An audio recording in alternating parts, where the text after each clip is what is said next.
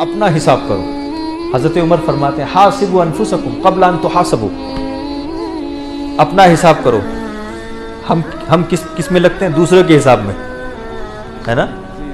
पूरी, पूरा साल दूसरों के हिसाब में लगता अरे, वो तो ये झूठ बोलता है, वो तो इतना करता है, ये करता है, वो करता है, ये ले लिया, वो खरीद लिया, इतनी चोरी की, इतनी गुनाह की, इतनी खताएँ की, दूसरों के हिसाब में। अपना हिसाब कोई नहीं।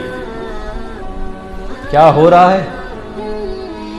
हमने क्या किया? नहीं। हज़रत उमर क्या अपना हिसाब करो। क्यों? क्योंकि तुम्हारा हिसाब होगा। तो इससे पहले तुम्हारा हिसाब हो, उससे पहले ही अपना हिसाब कर लो।